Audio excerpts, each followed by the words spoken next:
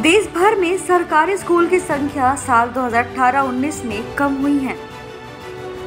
वहीं प्राइवेट स्कूलों की संख्या में 36 प्रतिशत का इजाफा हुआ है। स्कूल शिक्षा विभाग की इकाई यू की रिपोर्ट के मुताबिक सरकारी स्कूल की संख्या साल 2018 से 19 में दस लाख तिरासी हज़ार छह सौ अठहत्तर थी, जो साल 2019-20 में गिरकर दस लाख बत्तीस हज़ार पाँच सौ सत्तर हो गई है। रिपोर्ट के आंकड़ों के मुताबिक देश भर में इक्यावन स्कूल बंद हो गए। वहीं प्राइवेट स्कूलों की बात करें तो ये संख्या बढ़ गई है।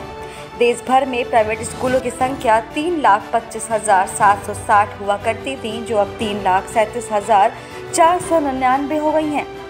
जिसके मुताबिक प्राइवेट स्कूलों की संख्या में तीन दशमलव छः फ़ीसदी की बढ़ोतरी दर्ज हुई है।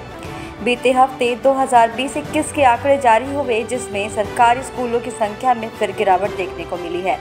अब ये संख्या गिरकर दस लाख बत्तीस हज़ार उनचास हो गई है, जिसका कारण कोरोना महामारी मानी जा रही है। उत्तर प्रदेश में सरकारी स्कूलों की संख्या पर नज़र डालें तो इनमें गिरावट देखने को मिली है।